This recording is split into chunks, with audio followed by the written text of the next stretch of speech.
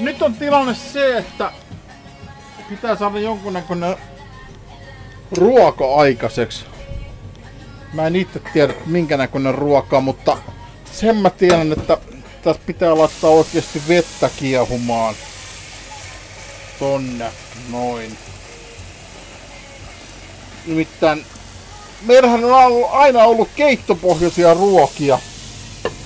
Ja tähän tota putoselle tää systeemi. Ja sitten ruvetaan tutkimaan mitä meillä on lihaliemikuutioita täällä tarjolla. Mitä sitten tästä osastosta ei kyllä löydy mitään. Mihin vittu mä sen makkaran muuten oikeasti laitoin? Saatana, mä laitoin jonnekin makkaran, mutta mä en enää muista mihin mä sen laitoin. Tostako jää, on, on Ranskan perunoita. Ja makkara otetaan tuolta. Se pitää tietysti saada toki sulaksi, niin otetaan se, otetaan se tohon noin. Tehdään sit silleen, että, että tota, täältä ottaa Ranskan perunoita. Tää vaan tapahtuu yhdellä kädellä.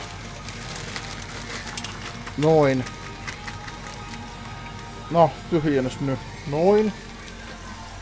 Tänne tuohon ne sitten siivotaan siitä jossain vaiheessa. Kunhan keritään.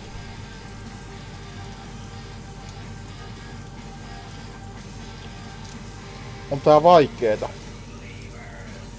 Sitten tonne, tommonen.